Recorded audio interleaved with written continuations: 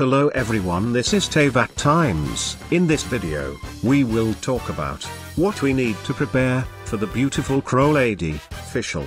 Shit, sorry I mean Kujou Sara. Now let's start with the level up and ascension materials. For the experience books, you need 419 hero wits, and for the Mora, you need 2,092,200 Mora. As for the ascension materials, you need 18 damaged mask, 30 stain mask, 36 ominous mask, also you need 168 dendrobium, and 46 storm beads, plus the electro crystals and gems.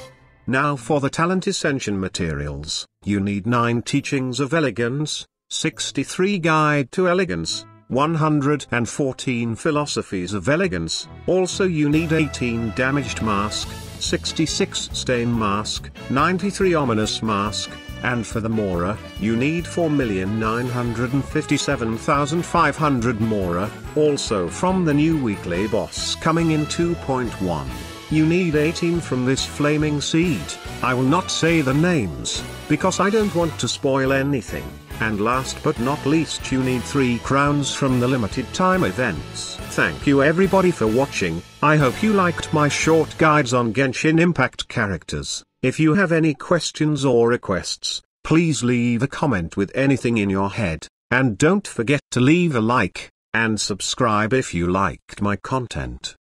Goodbye everyone.